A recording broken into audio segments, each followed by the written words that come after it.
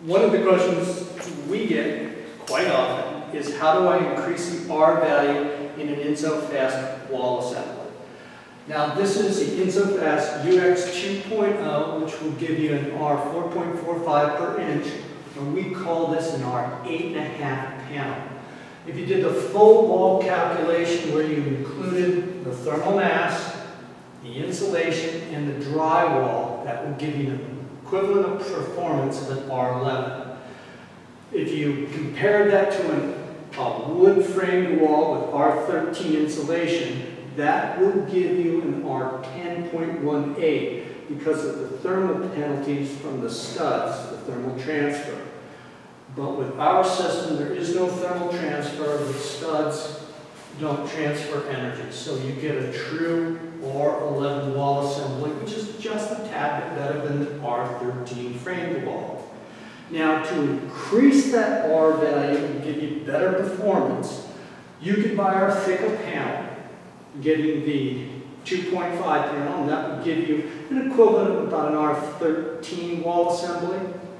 And if you wanted to go higher than that, get an R19 or an R15, whatever you need, you, you feel that you need to do, you can do what we call an InSoFast Plus system, which we think is the best value you can get.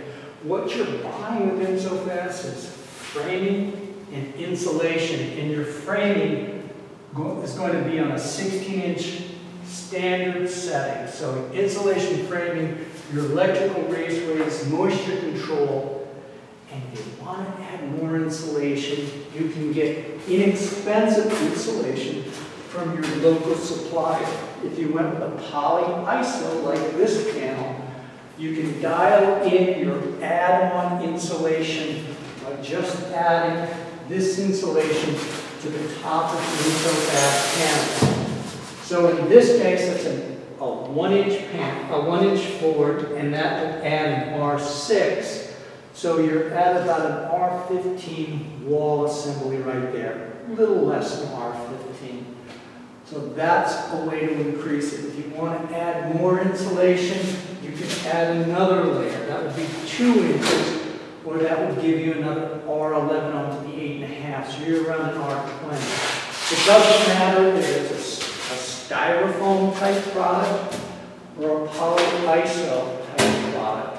You can add as much R value as you need.